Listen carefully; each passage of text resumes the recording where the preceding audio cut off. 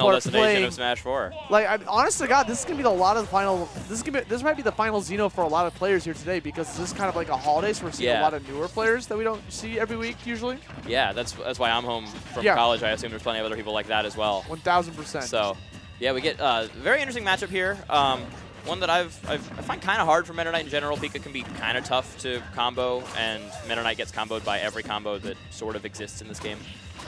Um, good dare at a shield, though. I like that option right there. Uh, I love the Incineroar tag. Shout out to that from Macedo. Incineroar. So excited for that character. He looks so funny. I'm, I'm excited for Piranha Plant Oh, Plant Boy is best boy. because he, he looks. He'll make hilarious. noise for this plant. Yo, Plant Gang.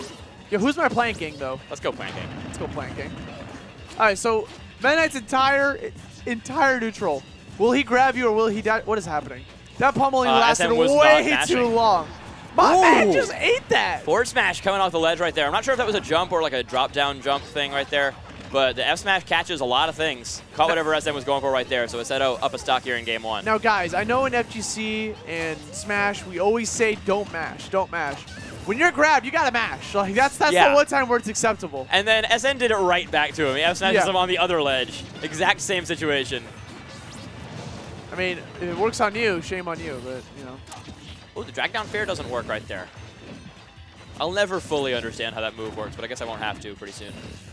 oh Pikachu trying to connect that forward air into a potential grab.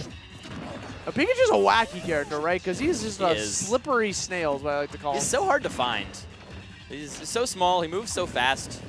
And Meta Knight does too, but you know it's on the ground. Pikachu can kind of be wherever he wants. Hmm. And that's, I think, one of the big differences there. As we see 60% lead, or as Meta Knight likes to call that, a tie game. Yeah, because one dash attack. Good DI there. Yeah. SN did a fantastic job of mixing up his DI. Try to guess where Aceto is going to follow him with the up airs. Looking for these down tilts here. Uh, down tilt can set up into an untechable or just a tech chase for an up smash. We get an up throw there. No thunder yet. Goes for the thunder right there. Yep. Very delayed thunder. Dash attack, good DI again from SN, DIing out to avoid the follow-up. Goes for the shield grab, simple. Oh, we caught him DIing in right there. Uh, up down throw thunder is only true if you DI in. Up throw is only is uh, of course you have to do the raw thunder in the direction they DI. So optimally you always want to do it forward, but at the same time you want to mix them up sometimes. However, no mix-ups on that. One up air into an uppie right there.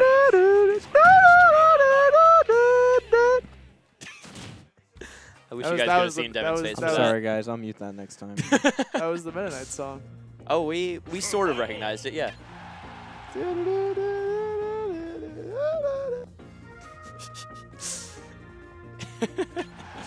Listen, I just wanted you to turn up the volume like you do for Captain Falcon. Why can't all the guitars? We're going back to FD. Meta Knight against Pikachu. Me game one more two. time, you won't. All right, so we got uh, call out with the grab right there. Now okay, he, Pika, can't touch the ground. now Pika has this thing that's less extreme than melee Pikachu, but it's the same premise where he hits you for like ever, and then you look down and you're at 40%.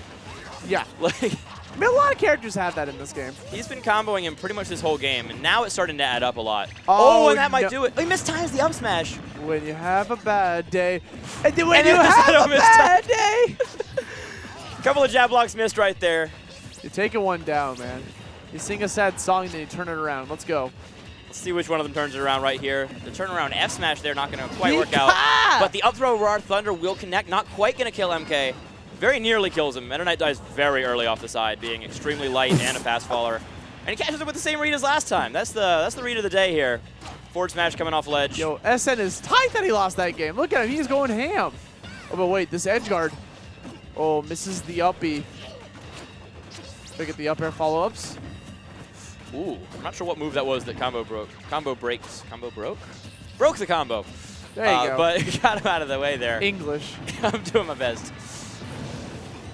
Ooh, catching the double jumps again. I feel like he right wanted there. to throw the thunder out there instead of like combining Probably. himself. Yeah, it was like an input error. It looked like 64 right there. It looked like he just sort of invincible on the beginning of his up B. Ooh, quick attack into up air. That can be super annoying to deal with. if You don't see it coming. Gets the tech Good tech read. chase. Pika has such good tech chase setups.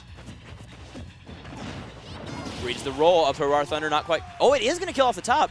DI'd a little bit too well right there to, to avoid the side, and then ends Yeah. up killing him off the top right there. Those Yeah. are tricky when it's sending you right near the corner, because you don't really know which way you're supposed to go. When directional influence can decide a 50-50 situation, man, like that's that, that's Smash in a nutshell.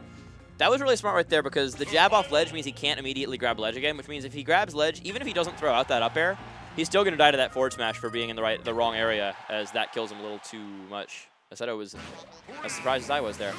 And we get the counter pitch to Smashville here. What a classic. What a song. We got we got hazards on Smashville. You guys are witnessing currently. Thought we had hazards off in this for setup, but that tripped. Ooh, I like the up airs there, but Pikachu really tough to combo.